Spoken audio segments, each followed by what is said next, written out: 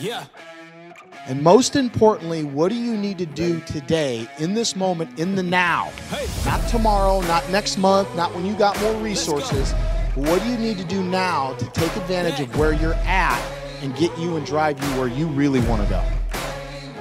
Yo, once again, I'm back around.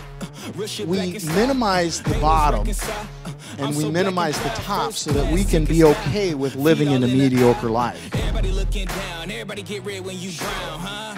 Typically, what we do is we make the, the pain pick it up. seem less Checking them out as they painful want us to go to and the wins seem less winning Go to school to make a so that it justifies the yourself to make a position that we're in. Common sense, welcome to the And then we apocalypse. Bitch, I'm complain about the fact that we're where we are. don't need your endorsement. I don't need reinforcement. that insane?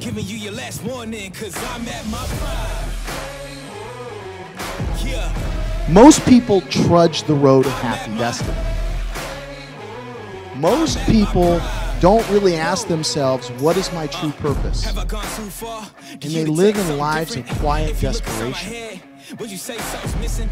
If you could give all your riches just to say the word, would you risk it? These politicians so old, can't tell if the dead where they living.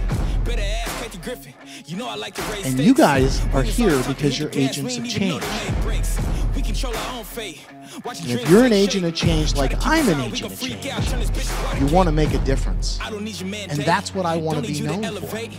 I'm about to But if we continue to sit in that middle area, then we're never going to make the change. We're never going to be the people that we were truly, I believe, put here to be. I believe we were all sent here with a purpose. But the magic thing is, is most of us believe that we need to uncover our purpose, that we need to define our purpose. Here's the reality. Here's what I know from working with every convicts to this to that. We grow into our purpose. We don't define our purpose. We don't find our purpose. We grow into our purpose.